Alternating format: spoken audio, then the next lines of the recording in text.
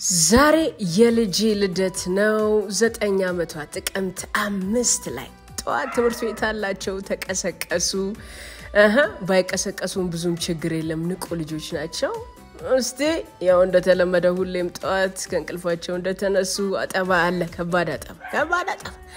ቁርስ ተበላ። ምግብ ክቡር ነው ብለን አልቀረጽ ነው እዚህ ጋር ወደ ትምህርት ቤት ጉዞ።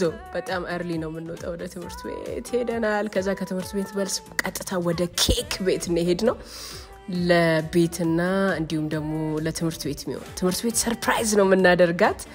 ቤት ደግሞ አመሻሹ ላይ ከ family ጋር campfire ነገር እናዘጋጃለን። ቀጥታ ወደ ትምህርት ቤት ከመሄዳችን በፊት ሱፐር ማርኬት፣ ምክንያቱም ዘጠኝ ቁጥር ዘጠኝ እድሜዋ የልጄ ዘጠኝ የእኔ ደግሞ የእናትየዋ አስራ ዘጠኝ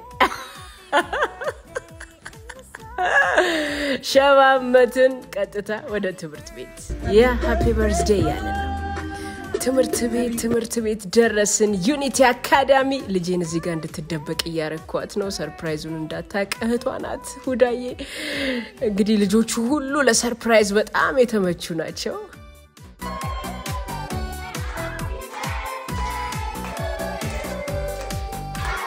miss አስቱዬ አስተማሪ ብቻም ሳትሆን እናትም ጭምር ናት። በጣም ነው የምንወዳት። ሁሉም መምህራን ኬኮች ናቸው። የዩኒቲ አካዳሚ ጓደኞቿ መልካም ምኞት ገልጸውላታል። እንኳን አደረሰች ተብላለች። በጣም ደስ እንደሚል አውቃለሁ። መልካም ልደት። ከትምህርት ቤት ተመለስን። ራት ተበላ። መክሰስ ነው ራት፣ እንደዛ ነገር Tajamara.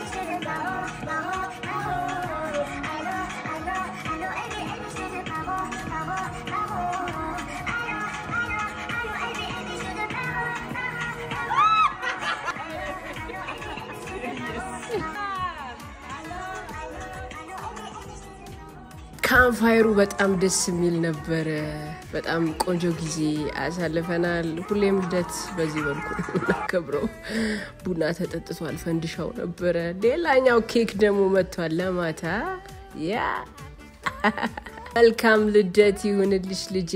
ምን እላለሁ፣ ለሰርጋችሁ ያብቃኝ። thank you በጣም እናመሰግናለን። ስላያችሁን